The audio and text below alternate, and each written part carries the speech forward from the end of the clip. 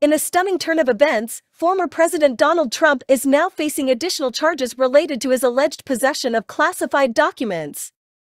Prosecutors have accused him of illegally holding onto sensitive information and obstructing a federal investigation by attempting to delete surveillance footage at his Florida estate, Mar-a-Lago.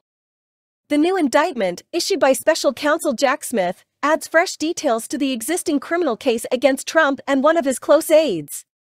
The unexpected Florida charges come amid growing anticipation of a possible indictment in Washington over Trump's efforts to overturn the 2020 presidential election.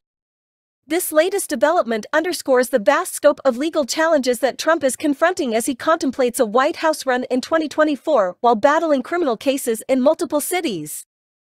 The indictment alleges that Trump collaborated with his valet, Walt Nauta, and a Mar-a-Lago property manager, Carlos de Oliveira, to hide surveillance footage from FBI and Justice Department investigators.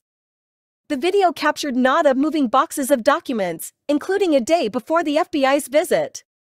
Prosecutors assert that the boxes were moved under Trump's direction. Trump spokesperson swiftly dismissed the new charges as part of a continued attempt by the Biden administration to harass and influence the 2024 presidential race. Nevertheless, Trump's legal woes seem to be escalating, with additional charges involving classified documents also surfacing in New Jersey. Despite the heightened anticipation, only the Florida charges were filed on this occasion. Trump's lawyers recently met with prosecutors to discuss potential indictments related to his efforts to challenge the 2020 election results and the January